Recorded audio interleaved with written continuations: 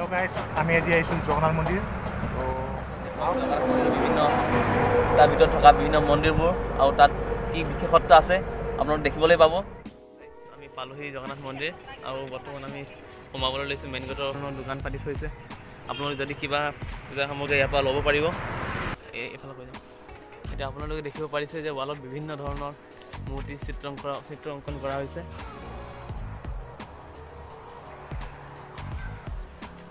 জগন্নাথ মন্দিৰৰ main gate আপোনালোকে দেখিব পাইছে ইয়াৰ পৰা আমি প্ৰৱেশ কৰিব লাগিব ভিতৰত এতিয়া।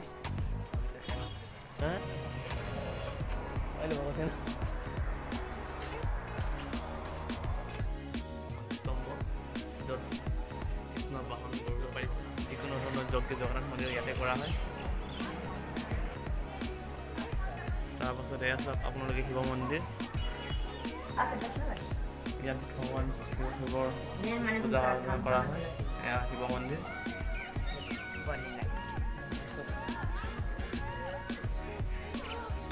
তাৰপাছত আকৌ বাওঁফালে আছে আপোনাৰ এয়া গণেশ মন্দিৰ গণেশ মন্দিৰ আপোনাৰ দেখিব পাৰিছে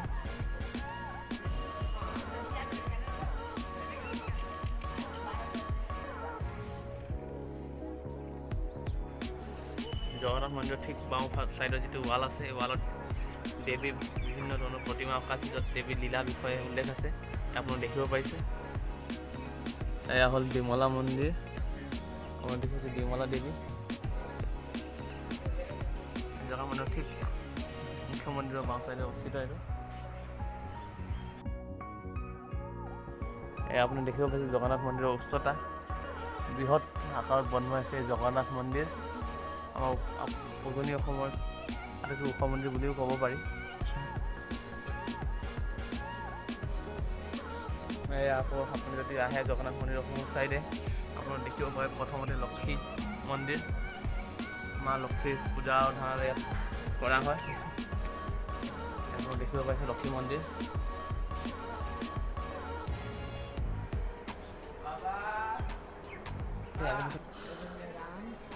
ইয়াত কৈ আছে ৰামৰ দৰবাৰ আপুনি দেখিব পাইছে। বৰ্তমান আমি পাইছোঁ ৰাম মন্দিৰত। ৰাম লক্ষ্মণ সীতা।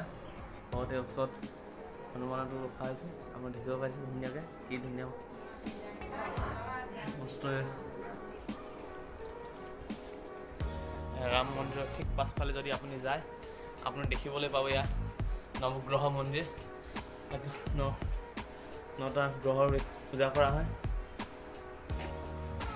আপোনালোক জানে আমাৰ হিন্দু সভ্যতাত নৱগ্ৰহ পূজাটো বিশেষ মান্যতা দিয়া হয়।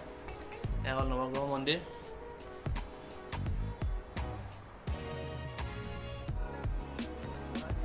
মোৰ ছাইডৰ পৰা জগন্নাথ মন্দিৰ যদি আপুনি চাই আপুনি দেখিবলৈ পাব। এই ধুনীয়া দৃশ্য। অতি মনোমোহা দৃশ্য জগন্নাথ মন্দিৰৰ এয়া।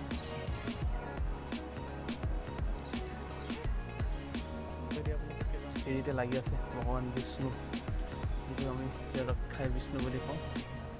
তেওঁ বিষ্ণু প্ৰতিমা। এয়া তাৰ সন্মুখতে আছে হনুমান মন্দিৰ।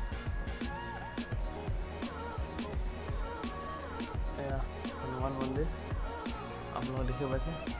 তাতে আপুনি গেটৰ পৰা সোমাই প্ৰথম সোমাই সোঁ চাইডে প্ৰথম মন্দিৰ হ'ল এই হনুমান মন্দিৰ।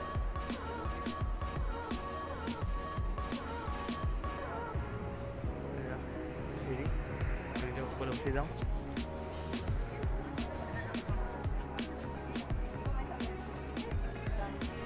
ऊपर उठेला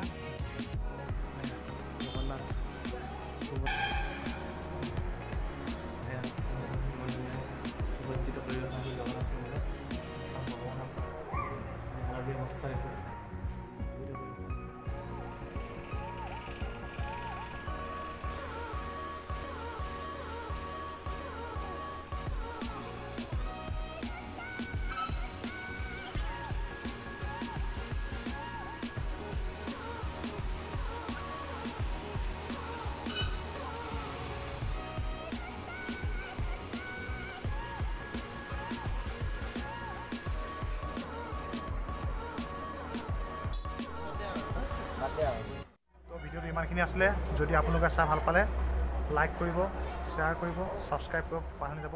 অ'কে টাটা